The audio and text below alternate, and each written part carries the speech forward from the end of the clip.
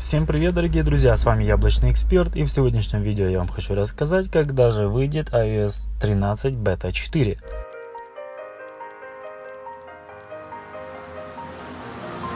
Что хотелось бы сказать об этой iOS? То есть в нее будут изменены внесения такие, как исправление каких-либо мелких багов, таких вот, допустим, как здесь. Вот когда перетягиваешь, бывают какие-то такие наложения, вот где должны быть уведомления, они как-то пере... Вот, нет, это у нас пришло с Вайбера, но Э, здесь бывают такие какие-то фризы, баги. Но это у меня были вчера, сейчас их нет. Но сам факт, э, что мы увидим в этой iOS э, данной, вот именно бетке. То есть она будет направлена на какую-то коррекцию багов каких-то небольших. Опять же, улучшена будет стабильность батареи, будет стабильно падать, хотя она уже на третьей бетке намного лучше работает, чем на тех предыдущих, которые были. И как бы опять же по каким-то мелким багам, там где-то синхронизация по Bluetooth, Wi-Fi, там сотовые данные, CarPlay, музыка, там еще быть может где-то как-то с чем-то, но незначительная, то есть это будет коррекция каких-то багов. Но когда она будет? То есть мы знаем, что 2, по-моему, числа вышла у нас третья бетка, четвертая бетка ожидается где-то с 10 по 12 число.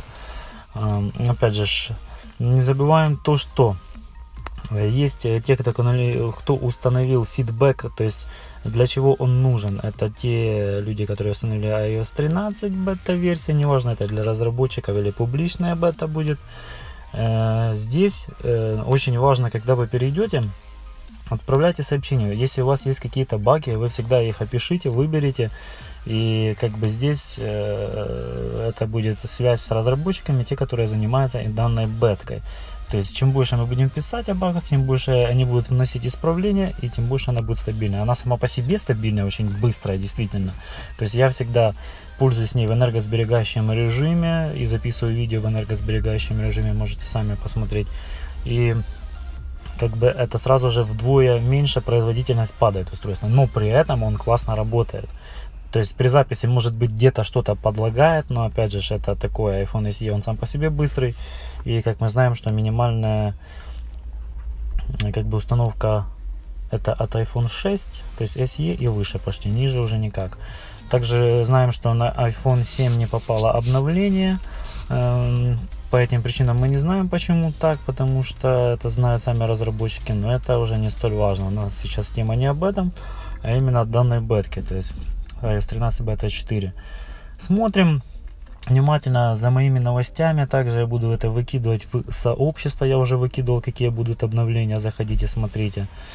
И как бы оставляйте ваши комментарии, делитесь, может где-то что-то мне нужно будет записывать, там может Geekbench тесты выложить, либо же просто скорость работы, либо же ну, неважно, на ваше усмотрение, что вам нужно. Давайте мне советы, будем работать, сотрудничать вместе и обсуждать эти темы. Я вас буду держать в курсе.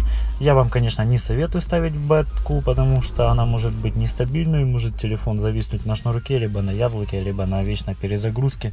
Это опасно. Вам проще зайти сюда, посмотреть, поделиться вашим мнением, обсудить какие-то вопросы, какие-то недочеты. А потом уже будет релизная версия, можете спокойно ставить.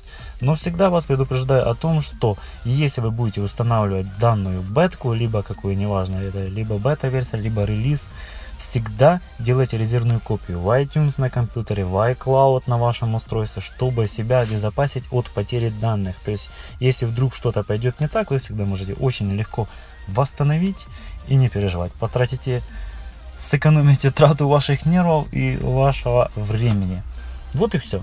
Подписывайтесь на канал, ставьте лайки, прожимайте колокольчик и не забывайте подписываться на мои соцсети. Всем пока!